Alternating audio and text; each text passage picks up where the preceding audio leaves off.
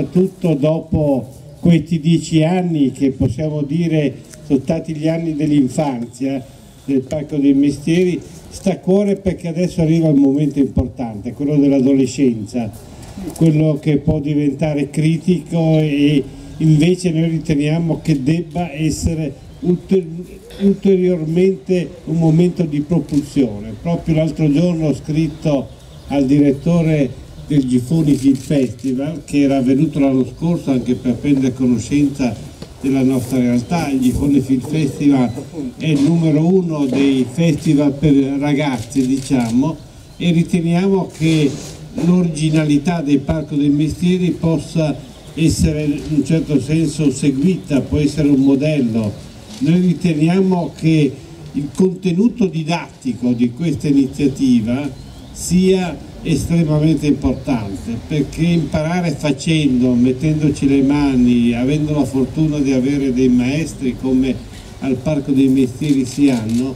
è una uh, preziosità da conservare e soprattutto, come dicevo, nell'adolescenza, nella maturità, dove siamo già proiettati a quel periodo, da irrobustire. Ecco. Io credo che siamo sulla strada giusta,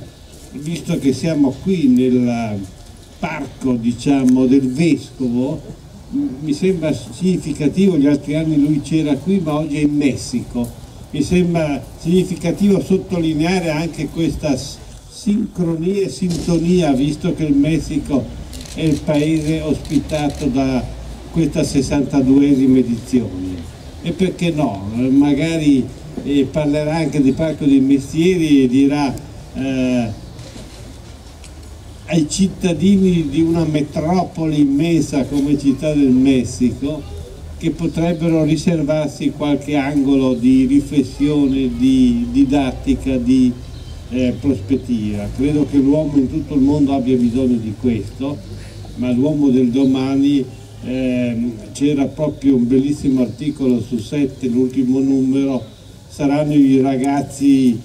a salvare in chiave ecologica il nostro mondo e noi abbiamo fiducia di questo e noi siamo operatori con questa iniziativa in questa logica.